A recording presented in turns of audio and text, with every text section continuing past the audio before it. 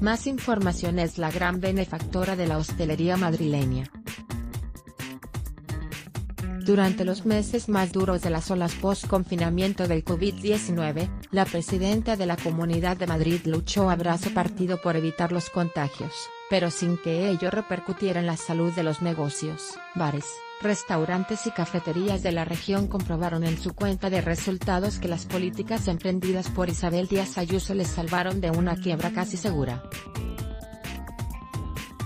En las elecciones convocadas para el 4 de mayo de 2021, fueron muchos los locales que no dudaron en rendir pleitesía a la líder del PP por evitarle la ruina. Fotos de la presidenta, platos en su honor. Pero lo mejor estaba por llegar.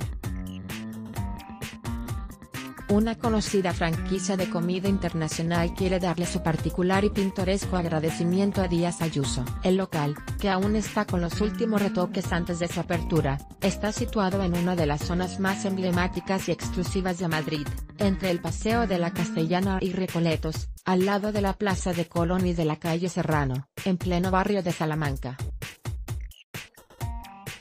Algunos curiosos que se asomaron a ver el estado de las obras se toparon con un mural gigantesco en el que se veía a la presidenta madrileña caracterizada como si fuese la Estatua de la Libertad.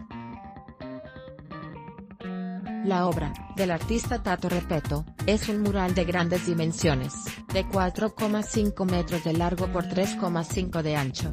Es un forma de agradecer a Ayuso que nos permitiese trabajar Rafael Palmero, gerente del grupo La Muta, comentó a Periodista Digital las razones que le han llevado a dar este reconocimiento a Isabel Díaz Ayuso. A nosotros nos molaba tener una imagen de Madrid que ha ayudado mucho durante esta pandemia. El responsable de este grupo de restauración aseguró que la imagen actual estará solo unos meses, en principio cuatro. La idea es que luego el artista, Tato Repeto, realice otra aunque igual puede replantearse esa intención. Y es que desde que se levantó la liebre de este mural, multitud de curiosos no paran de llegar hasta el local. Hay muchos visitantes que se han parado a hacer fotografías, pero solo desde fuera, ya que aún no hemos abierto al público. Lo haremos el fin de semana.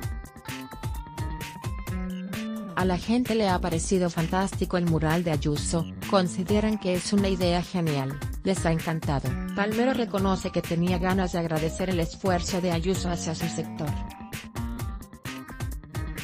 El mensaje está claro, es la libertad, un agradecimiento a Ayuso porque nos ha permitido poder trabajar. Otros familiares que trabajan en otras regiones no han podido hacerlo.